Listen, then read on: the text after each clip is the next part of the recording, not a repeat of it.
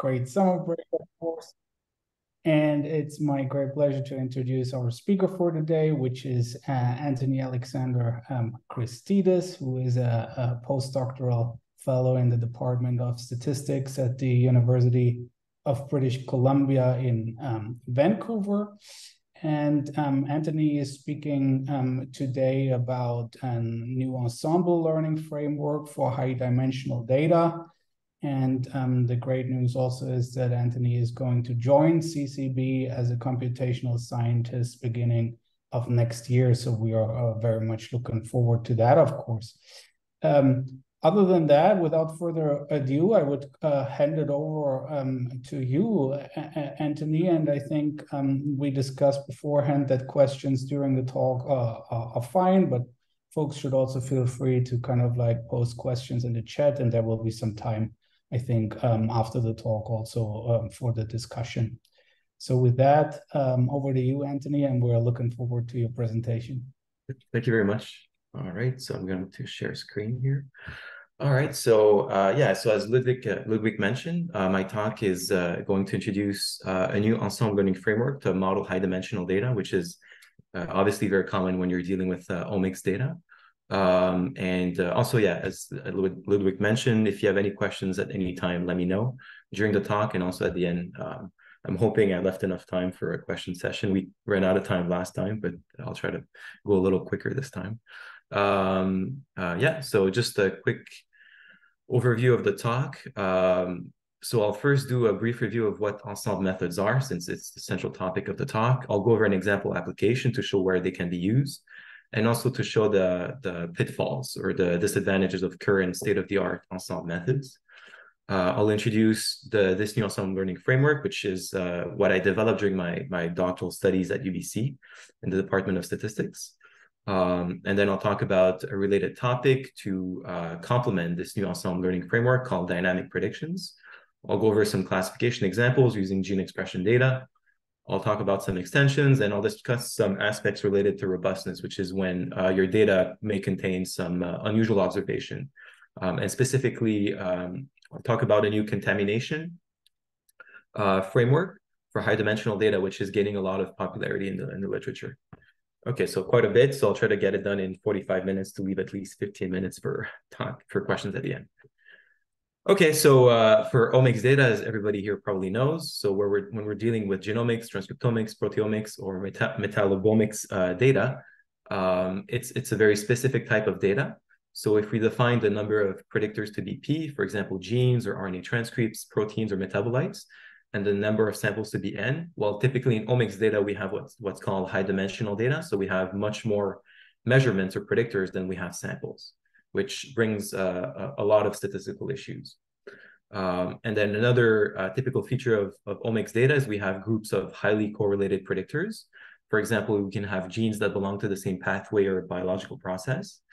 And then another aspect, which I will talk a little bit a little bit towards the end, which is what I'm working on during my postdoc right now, uh, which is uh, when we have data contamination. So for example, sometimes we have techno technical problems in sample preparation, or sometimes it's just uh, a feature of the data. We have rare molecular profiles, for example. Okay, so I'll focus first on the first two uh, uh, principal aspects of omics data, and then towards the end of the talk, I'll, I'll uh, address the data contamination issue. Okay. Oh, let me make it full screen, actually. I don't know why I didn't do that. Sorry. All right.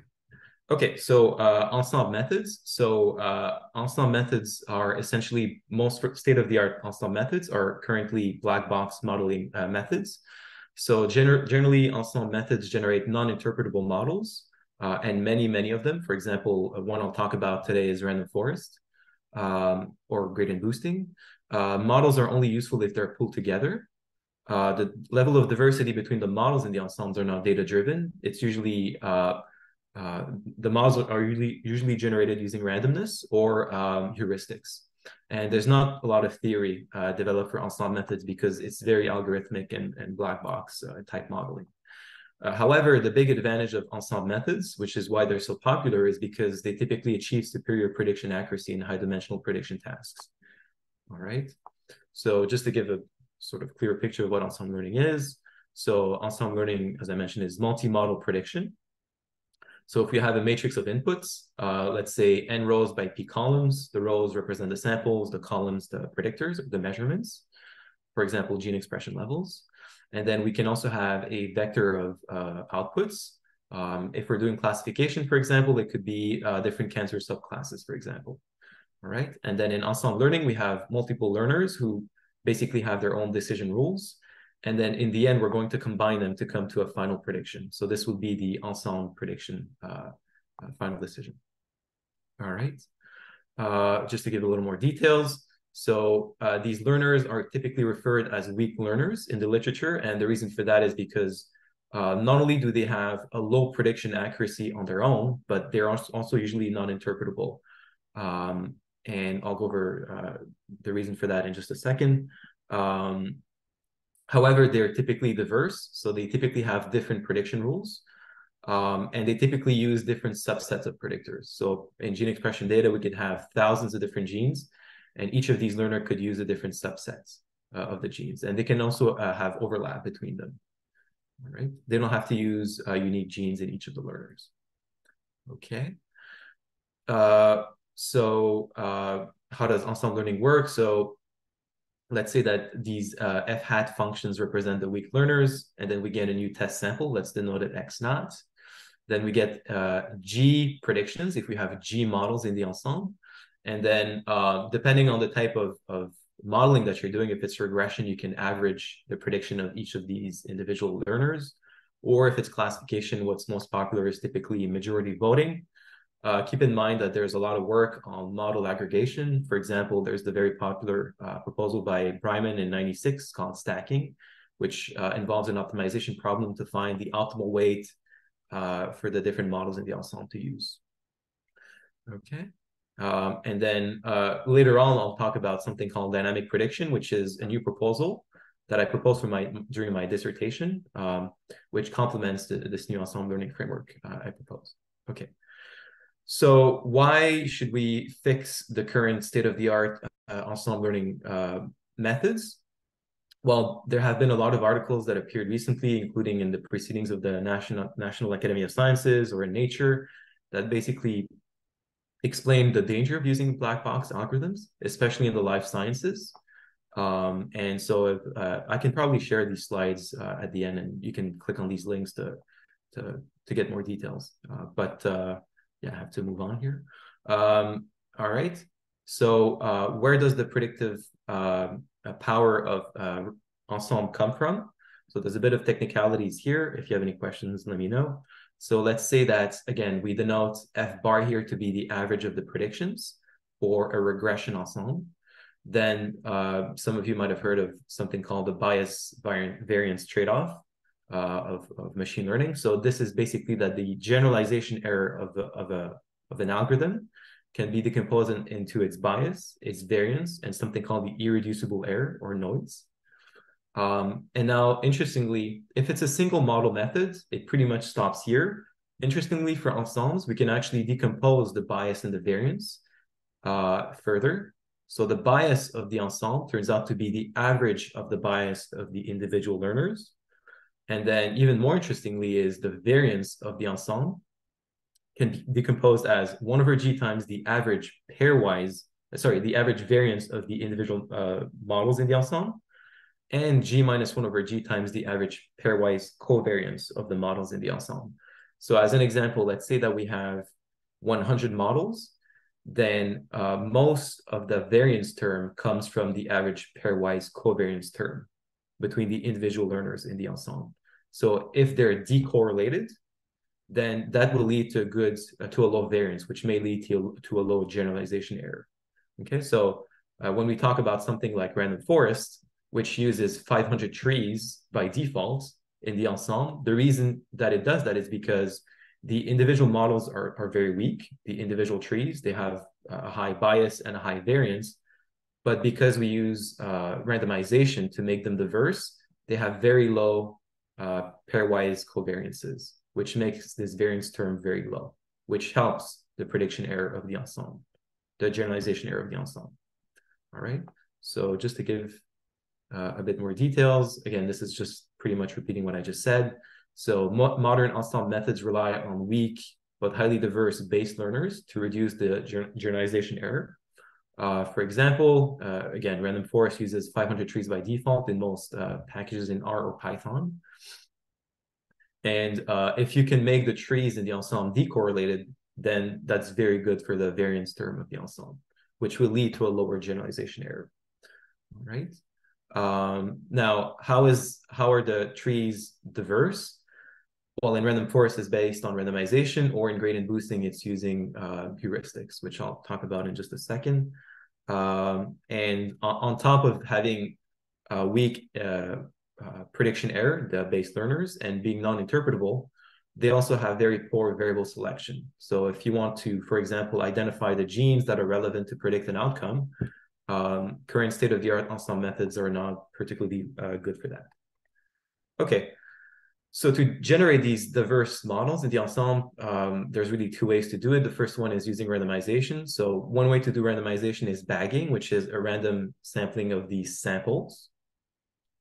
So um, that's the first way. The other way is to use the random predictor subspace method. There's many different variations of it, but in essence, it's basically uh, for example, in random forest, when we construct a tree, we take a random uh, sample of the data and a random sample of the predictors, and we build a tree based on these two uh, random uh, random selections. And then we do that 500 times, and that gives us 500 trees. Now, these 500 trees are very weak on their own because they only use a set of the predictors and a random sample of the data. But when we combine them, because they're diverse, then we get a good prediction area when we combine them. That's the first way to get a good generalization error for ensembles, this, uh, or to get the diversity between the models. The second way is to use boosting, which is a little more recent. So the uh, in the 90s, there was this seminal paper called uh, AdaBoost, um, which uh, introduced something called adaptive resampling. And there is a lot of fancy theoretical results that shows certain optimality, um, certain optimalities if you use a specific uh, way to sample the data.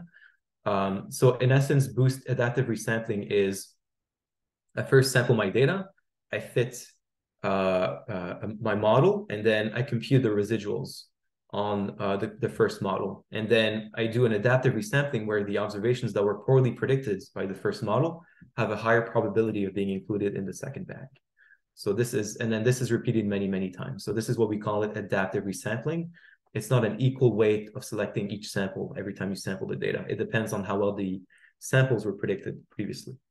Now, the more recent, the more uh, modern way to do boosting is gradient boosting, which is essentially the sequential refitting of residuals. So I have my original data, I fit a model, I obtain my residuals. Then I fit a model on the residuals of the first model. And then I have two models that have an ensemble, and then I repeat this process many, many times. So I have a couple of sketches here to try to help uh, visualize this. So first is for randomization. First, I take a, a, bootstrap sample, or which is just a random sample of my original data. I also have a random uh, sample, uh, a, random uh, subset of the predictors. So if I have a thousand predictors um, in my original data, I just take a random subset of it. And then based on these two uh, um, random selections, I construct my first learner, and then I combine it for the ensemble. That's randomization. So in essence, uh, this is, you can notice, basically learning in parallel.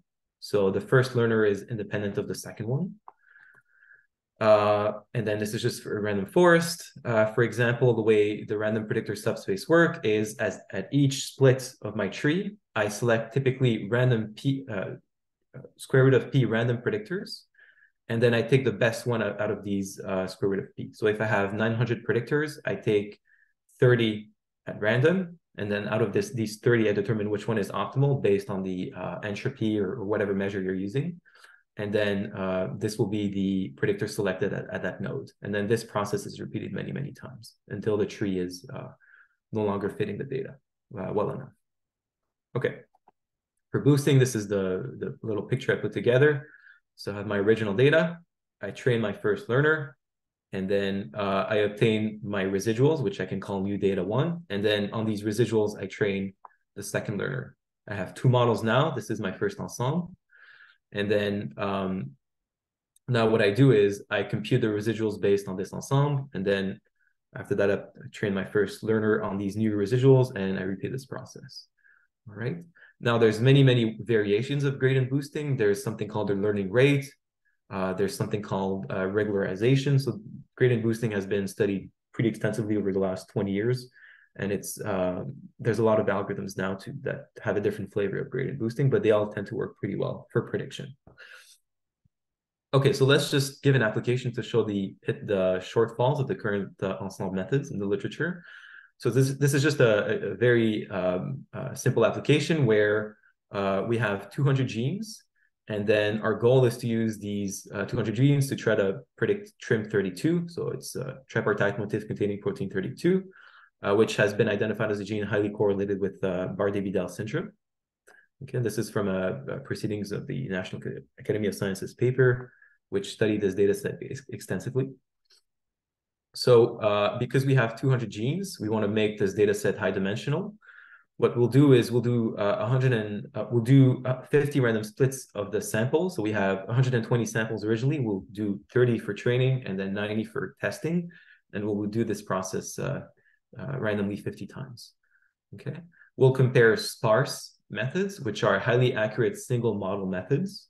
I'll talk about a bit about this in just a second, and state-of-the-art ensemble methods we'll use two metrics. First will be the prediction error of the ensemble or the single model methods for sparse methods.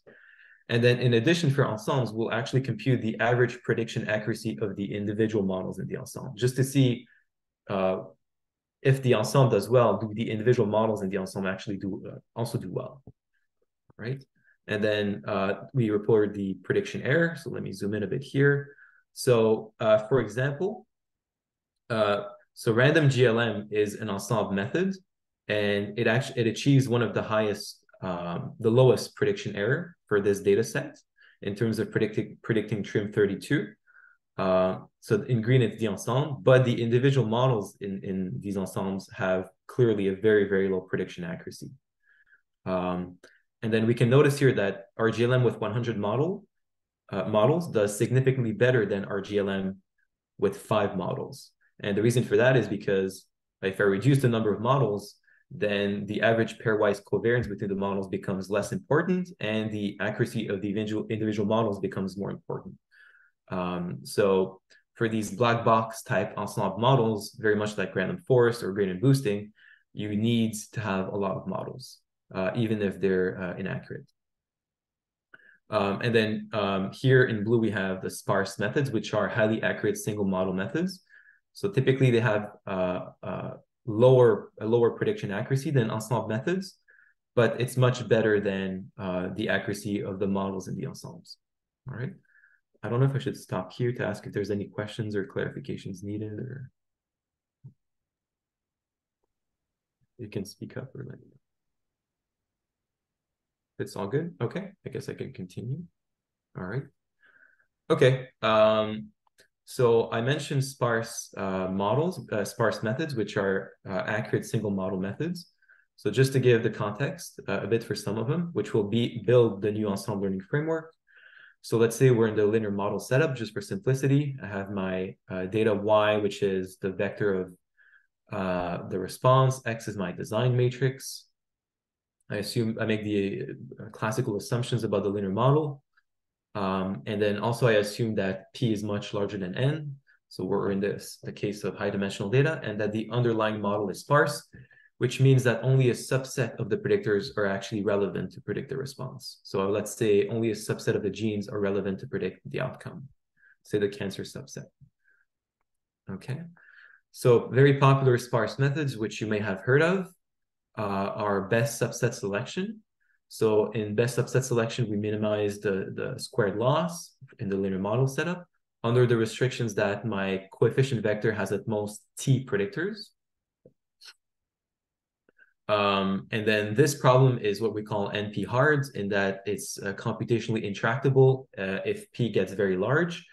So although there have been a lot of algorithms uh, developed recently in, in the last two, three or four years, to try to optimize this directly. In the 90s and 2000s and 2010s, typically the way it was done is by using what we call a relaxation. So some of you might have heard of something called the lasso or the elastic net, which is basically a convex relaxation of the best subset selection problem. So this problem is convex. Thus, it's very easy to uh, optimize uh, this uh, objective function.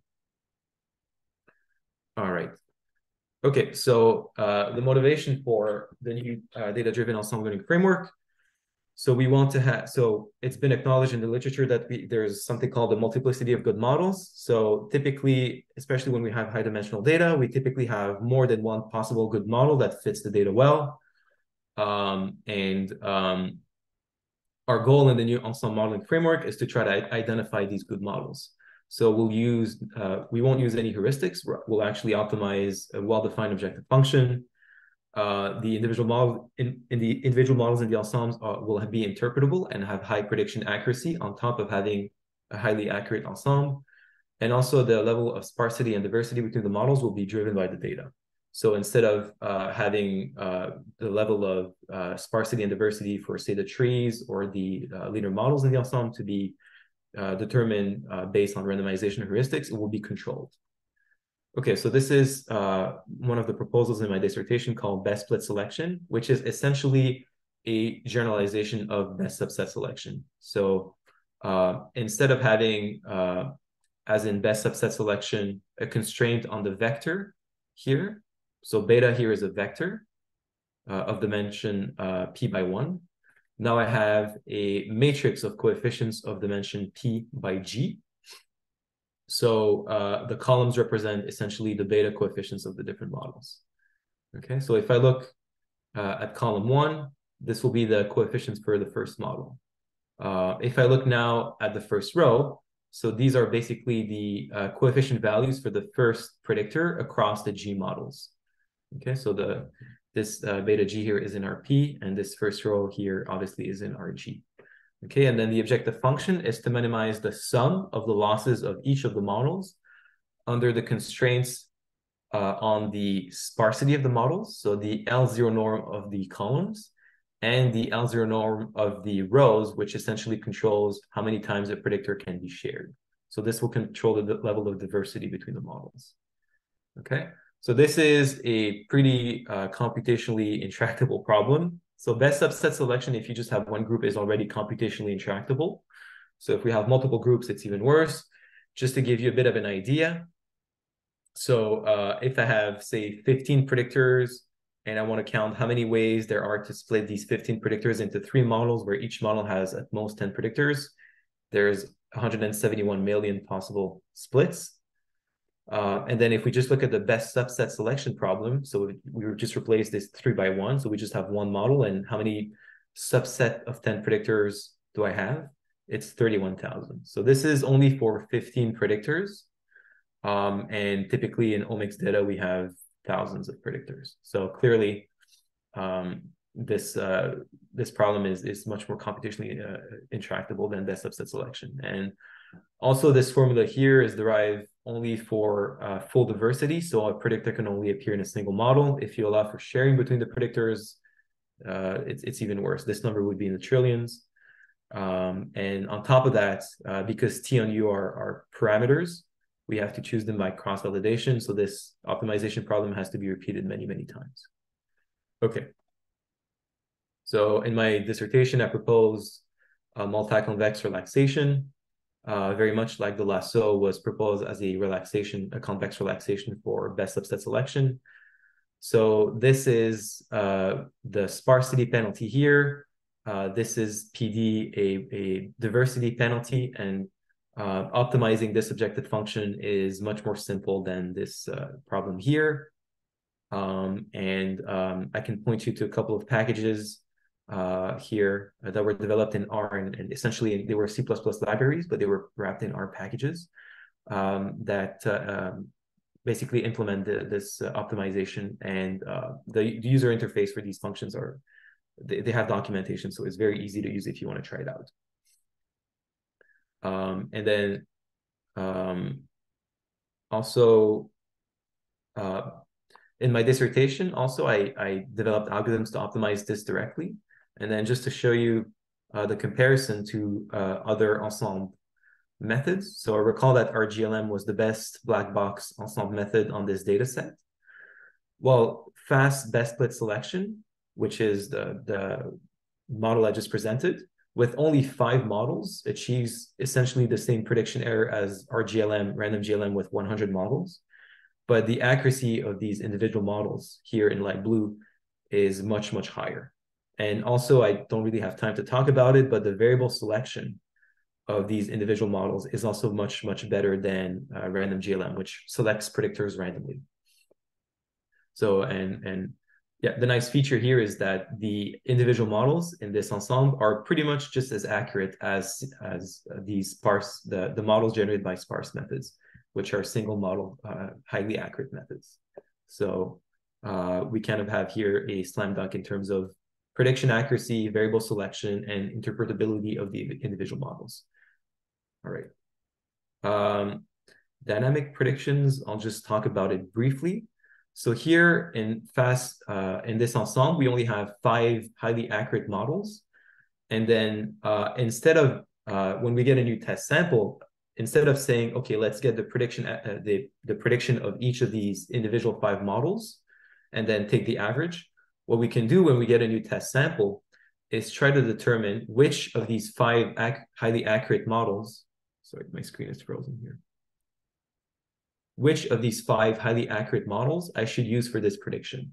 So this is, and the model that will be used for a different test sample is different for each test sample, right? So what we can do is we can look at the uh, predictor measurements of a new test sample, for example, a new patient with a new genetic profile, and then look which model tended to predict uh, patients with that uh, similar genetic profile based on our training data. Um, and then we say, okay, this is the model that we'll use to predict this new test sample. Okay, I don't know if I'm being clear here. If you have any questions at the end, you can uh, let me know. Uh, and then if we just compare again on the same uh, data set here, so dynamic one, here we're always using the best model available out of the five. And as we can see, the prediction accuracy compared to just taking the average of the five predictions is, is pretty significant. In fact, the prediction error is very close to zero, uh, which is very impressive for this data set. Nothing comes close to it.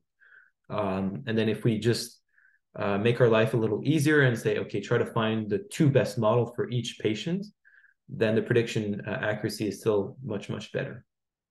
And then uh, what matches the performance of taking the, the average of the five models without doing any of the selection is basically trying to find the, the best three models out of five. Okay, so this is another area of research. I'm in the process of writing a manuscript right now with my postdoc supervisor, and we're getting uh, very interesting results. So it's pretty promising. Okay, uh, I'll just talk about some classification examples here, not to bore you too much with details for the optimization. So uh, one thing we can do, uh, and, uh, if we want to do classification, for example, is just replace the squared loss in the objective function by uh, the logistic loss function to do classification. So here, um, again, I'll send you the slides later. You can click on all these packages that uh, has that contains the implementations and the, the manuscripts with the details. But uh, essentially what we'll do is we'll apply uh, this classification version of the algorithm to 10 gene expression data sets. So uh, n is the sample size, and this is the number of genes for each data set.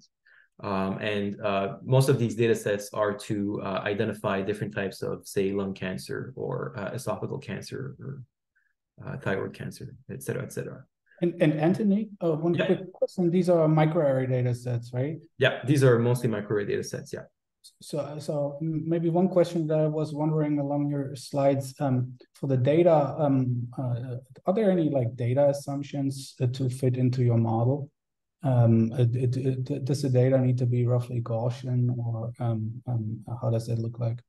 Uh, yeah, so for the not so they don't really need the data doesn't need, really to follow any type of distribution, but um, really the only time you would require uh, that the data follows a, a specific uh, distribution is if you want the theoretical results to hold for sure. So, for example, people sometimes derive uh, prediction error bounds on their uh, on the results of their their, their algorithm. Um, and uh, these bounds only hold if you make the strong assumption that, for example, your data follows a sub Gaussian uh, distribution, or that you don't have model misspecification, that the data generating the, the mechanism in which the data was generated follows specifically the linear model or a logistic model or yeah. Uh, otherwise, uh, for in terms of just empirical uh, applications, it doesn't really require to follow a specific type of distribution or any uh, other assumption. Yeah. So this could well be also RNA-seq data where we then yeah. would have count data. Absolutely. Yeah. Right. Okay. Yeah. Thanks. Yeah. Yeah. Uh, and then, uh, so uh, yeah, what we'll do for these 10 data sets is do, do just a bit of pre-processing. Um, so in fact, actually the way I pre-process the data before applying the algorithm is kind of outdated. So we selected 100, 250, 500, or 1,000 genes, but uh, using pairwise t-tests uh, with the, the Bonferroni correction for multiple testing. But nowadays, I saw a couple of papers recently where they have different ways to select genes before applying the algorithm, which controls for the false discovery rates. So uh, it would be interesting for me to try to uh, rerun this uh, simulation uh, with the new uh, way to select genes before applying the algorithm. But uh, regardless, so these are basically the average ranks over the 10 data sets for, so this is for the misclassification rates and the test loss prediction error. Um, so the highest rank obviously is one, and the split methods uh, which is basically the, the new ensemble learning framework with the classification uh, loss function, achieves the uh, best prediction error and test sample loss for uh, on average, regardless of the number of genes we select for applying the algorithm. So 100, 250, 500, or 1,000, it doesn't really matter.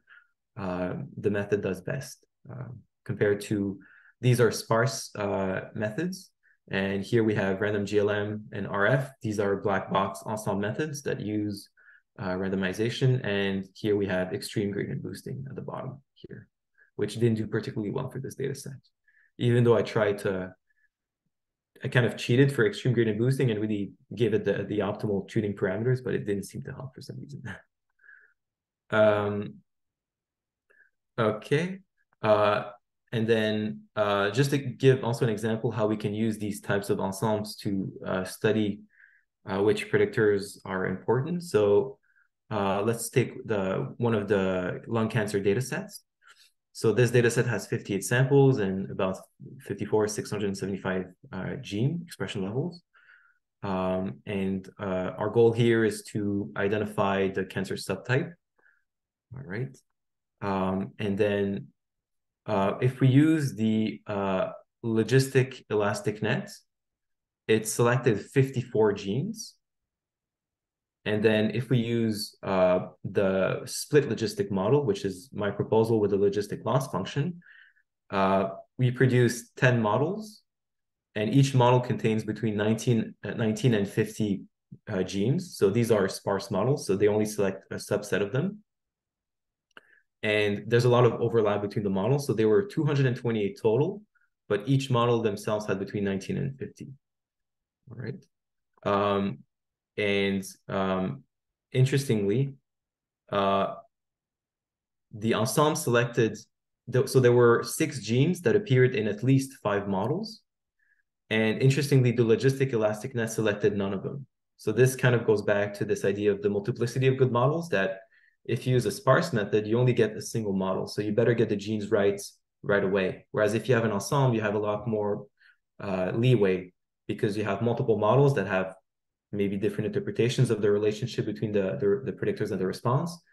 Um, and thus you can use more genes and have different, uh, uh, you have these diverse models. And uh, you may pick up genes that were uh, not selected if you just have one model, all right? Um, and then this is just a quick little uh, note here that um, uh, the logistic elastic net had a misclass misclassification rate of 8%, which is actually the same as the individual models in these uh, 10 ensemble models. Um, so the, the, the, ensemble had 10 models and the average prediction error uh, of these 10 models was also 8%. And when we combine these 10 models, then the ensemble achieves an MR of 6%. So the state of the art though? Uh, say again, sorry? To my knowledge, uh, there was a pa paper who did a very similar ensemble knowledge. It seems very par, uh, on par that the current model scheme that you have right there. So does this compare well to, let's say, a very sophisticated single model? Trying to see what um, see see if this is actually an improvement over the, the ensemble is an improvement over over a regular uh, classification. Uh, yeah. So um, uh, it's in classification. So if, if it was regression, it'd be easier to to tell if it's significant because we can compare. You know, we have the mean and the standard deviation, and then we can see if you know there's any overlap. In classification, it's a little harder, uh, but um, uh, I would say that an improvement of two percent over. So this data set has been studied extensively in many papers, and nobody really achieved an MR of lower than eight. So I would say that six percent is is pretty significant. Um, and uh, yeah, but yeah, it, it's it's hard to tell whether it's statistically significant because uh, right. classification is a little trickier. It's not like in regression where we can actually do a we have theory to determine whether this is actually statistically significant. So yeah, makes sense. Yeah. Okay. Um, so I think I'll just talk about here for another eight minutes here. There's uh, a few other things I want to mention. So uh, in this talk, I mostly talked about parametric models or a parametric way to uh, generate these ensemble models. Uh, but it's it's uh, the idea is very uh, general in that we have uh, the loss function and then restrictions on the predict number of predictors in each model and how many times a predictor is shared. So this idea can be applied to discriminant analysis, PCA, kernel-based estimators, and more interestingly, tree-based ensembles. So this is a project I kind of started working a little bit already, which uh, basically I'm trying to do a non-random version of random forest called systematic forests. Um, and uh, the way to optimize this is thankfully there have appeared a lot of very interesting articles recently in the machine learning literature that uh, show how to optimize a tree um, uh, and then uh, and the idea is to generalize their algorithm to have an ensemble uh, for these trees. So you're not only optimizing a single tree, but multiple trees at the same time. Uh, and um, yeah, so this is a big project uh, I look forward to, to, to do to apply the, the current new ensemble learning framework. Okay, and now the last thing I wanted to talk about, which is what I'm working mostly during my, my postdoc right now, is uh, data contamination. Okay, so data contamination is um, when we have uh, certain uh, samples or cells, which basically correspond to a particular predictor for a particular sample, which may deviate for, from what you expect based on the rest of the data. So classically, from say the 60s up to 2010, the row-wise or case-wise contamination model is basically the only model that data contamination model that was studied, which basically means that uh, the entire sample is contaminated or the entire sample follows a different distribution from uh, the uh, assumed distribution of the data or the majority of the, the samples. A more recent one, which was uh, proposed in 2009 by actually my doctoral supervisor, Dr. Ruben Zamar, he proposed something which is much more realistic, especially when you have high dimensional data, which is called cell-wise outliers. So now in cell-wise outliers, we have for each sample, perhaps only a small subset of the predictors that are contaminated, and they're uh, flagged by these black boxes here. And this is much more realistic because it's very rare that for a sample, especially if you have thousands of predictors, all of them are contaminated or follow a different distribution. Typically what happens is uh, only the this this row here is only flagged because only a small uh, subset of the predictors may deviate from what you would expect. Um, and statistically identifying these cell-wise outliers rather than case-wise is much more much more complicated, both theoretically and computationally. But uh, there have been a lot of work in the last five years that really very impressive results. Um, and just to show why the cell-wise contamination uh, uh, framework is much more relevant to high-dimensional data, uh, let's uh, just give a, a, short example here.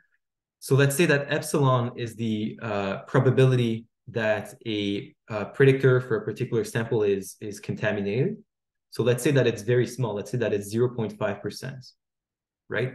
Then the expected proportion of contaminated rows by using basic probability, it's basically the binomial distribution, uh, is 1 minus 1 minus epsilon to the power p, right? And then if we just say, okay, 0.5% for each cell and have a thousand predictors, then the proportion of contaminated rows is almost one. So basically each row will probably contain at least one uh, cell-wise outlier, even if the the probability that a, the, that cell is contaminated is as, as small as 0.5.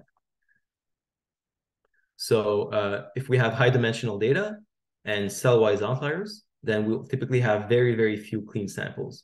And unfortunately, most robust methods that are developed in the literature uh, can only uh, sustain up to 50% of the samples that are contaminated.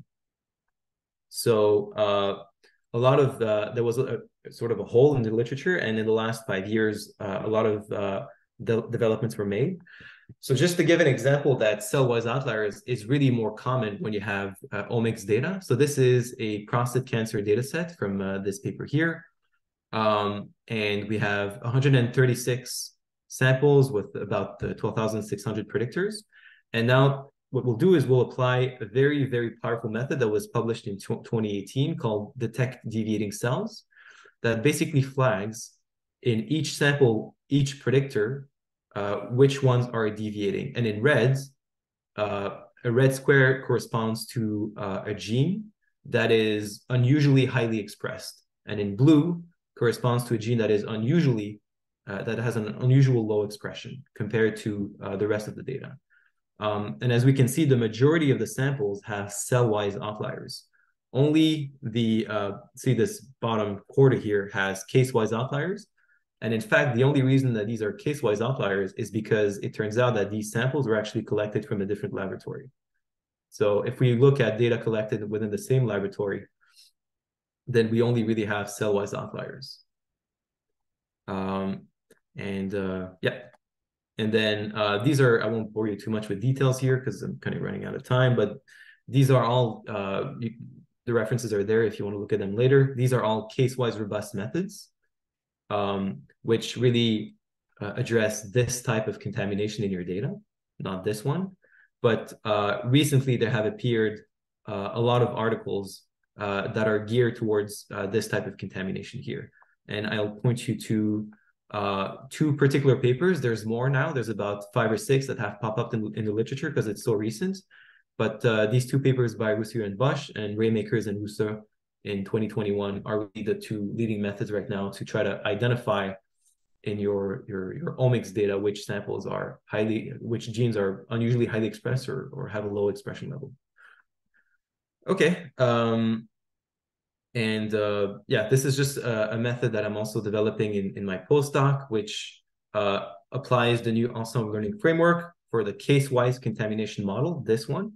And uh, I put a link here to my archive. Uh, I think within the next two weeks, I will have a paper that will uh, incorporate the new ensemble learning framework uh, with this type of contamination, with cell-wise contamination, with some interesting applications and examples. So uh, I think it's 1245. I think I should stop here.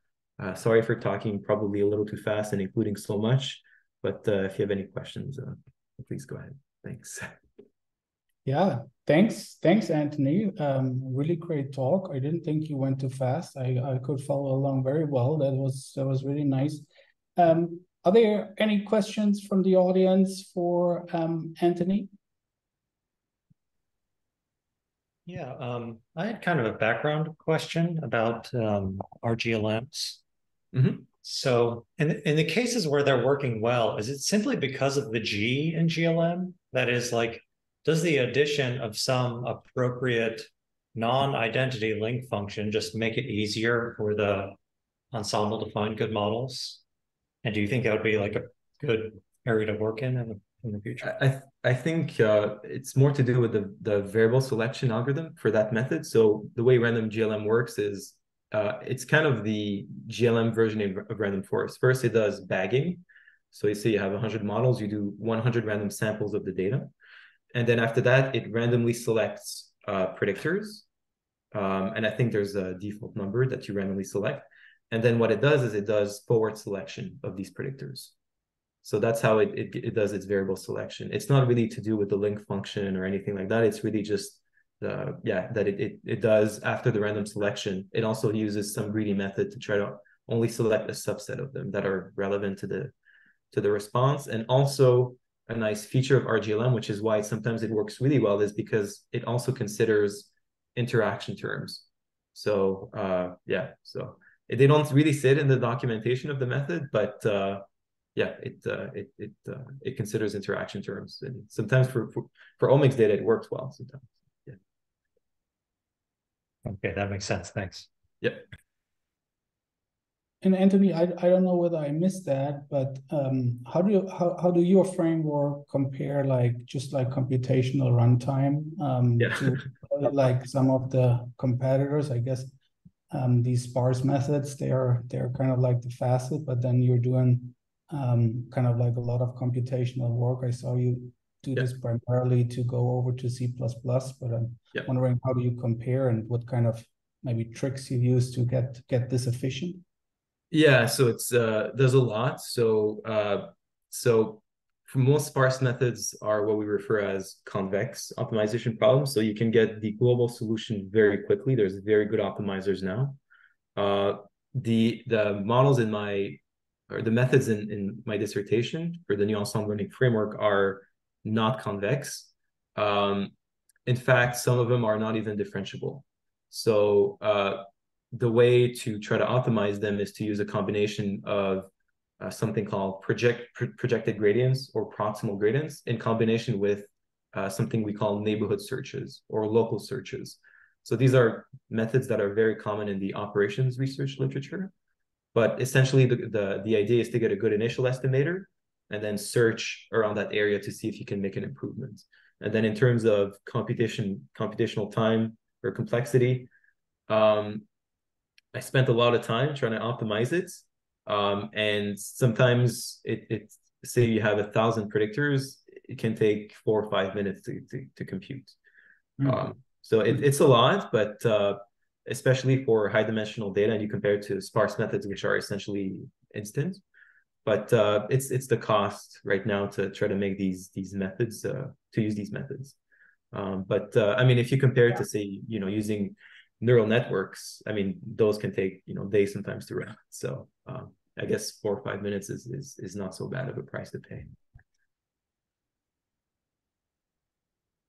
But could you make use of parallelization, just like? oh yeah, so, yeah. So in, in the yeah, in, in all these uh, packages I reference in, in my slides, uh, I've written the libraries in C++ and I use uh, OpenMP, which is uh, yeah the multi it's it's multi-threading that I use mostly to mm-hmm. try to accelerate all of this. And unfortunately, I think it only works on Linux right now because I don't think OpenMP is supported by Windows. But uh, uh, yeah, if you run it on a virtual machine on Linux, then it, it works. Other other questions for Anthony?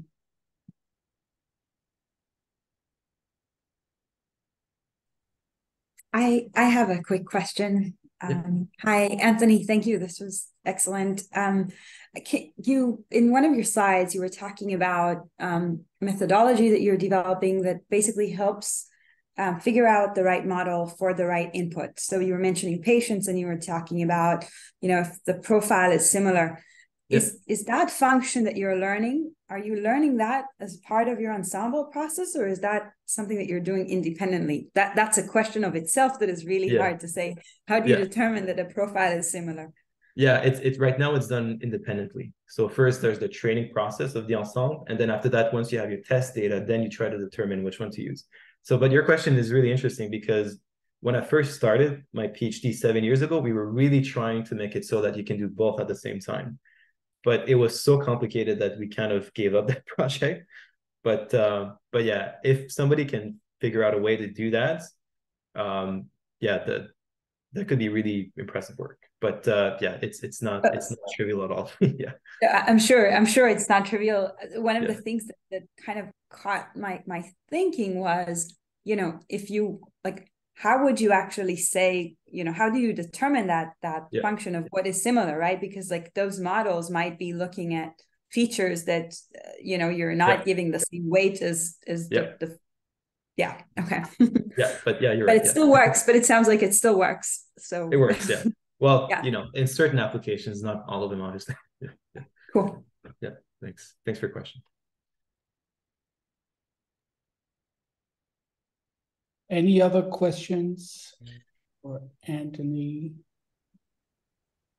Um, I might have a naive question. Uh, mm -hmm.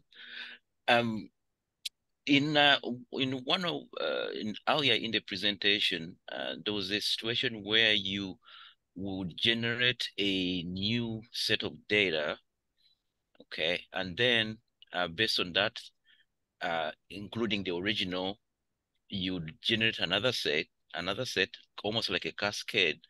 Uh-huh. How how do you prevent um, magnifying the error? Can you, can you repeat the last uh, part? Sorry.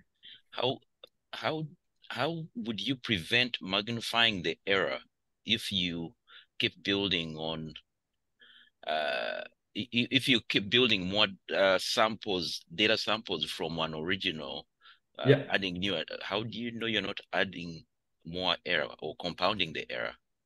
Oh, I see what you mean. Yeah. Okay. So I think so. What you're talking about is the um, is is the gradient boosting algorithm. I think that's the one you're thinking yes. of. Yeah. Yeah. So this is one of the current state of the art ways to do ensemble learning.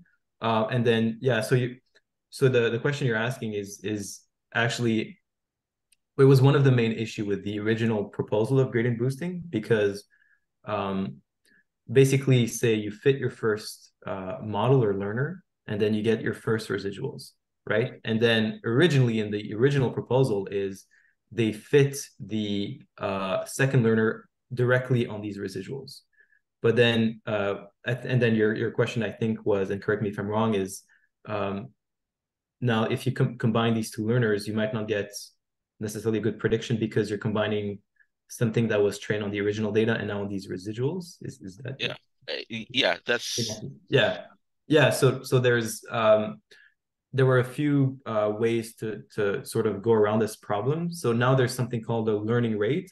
So uh now to obtain this new data one here instead of just doing uh say the original data minus the prediction and then this is new data one is what they do is they only use uh, a small proportion of the prediction of the first learner so that it's not so greedy so you don't end up with just the raw residuals of your first learner, you only uh, start with uh, uh, a much larger error because you only use a small proportion of the prediction of the first learner. I don't know if I'm doing a, a good explanation, but uh, basically what I can do is maybe point you to something called the, the learning rate of gradient boosting, and it addresses that problem. Okay. Yeah. Uh, and thank you. I I mean, uh, it's I yeah I try to follow, but uh, yeah. it helps to yeah. understand.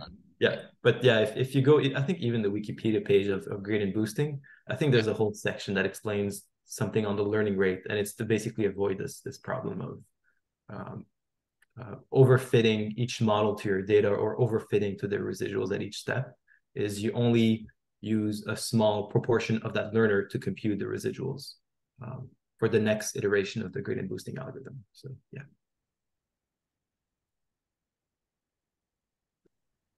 All right. Any other questions for Anthony? No, just a quick comment. Thanks for coming, Anthony. It was uh, very interesting. Thanks. All right. Then well, I look forward to meeting all of you next year. So yeah, we're also looking forward um, uh, to that. And uh, thanks a lot for this great talk, Anthony. Then. Yeah. Thank thanks, you so much. Thank you. See you all soon. Bye. Bye. Take care.